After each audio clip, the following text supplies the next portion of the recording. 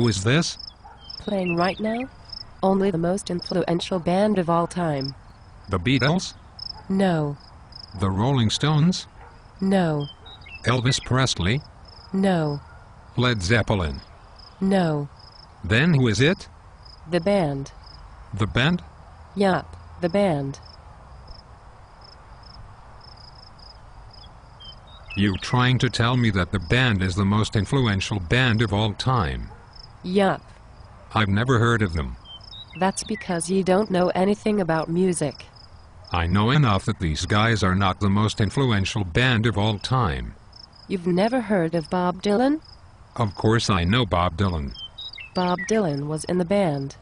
Okay, You don't think Bob Dylan is one of the most influential musicians ever? we're not talking about Bob Dylan. We were talking about the band. The band was huge. Bob Dylan completely changed the face of music. So that's when he wrote Blowing in the Wind. No, The times they are a changing. no, Don't think twice, it's alright. Tangled up in blue, like a rolling stone. no. So what did the band sing? The Weight. The Weight. Yup.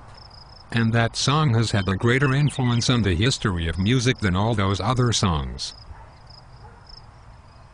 If I Google most influential band of all time, I'll bet you $100 that the band isn't in the top 10.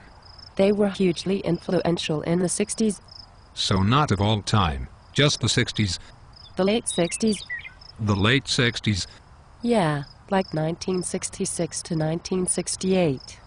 So, they were the most influential band of all time, from 1966 to 1968. Yes, You're an idiot.